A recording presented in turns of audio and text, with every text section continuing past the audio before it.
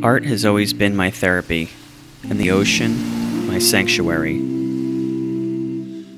Starting with just one brushstroke can feel meaningless or overwhelming because of the vast complexities of what's to come.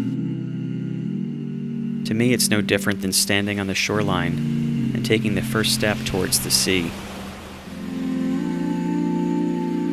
Painting the ocean is a gentle reminder to me that all I need to do is solve one problem at a time. And before you know it, you have the whole ocean.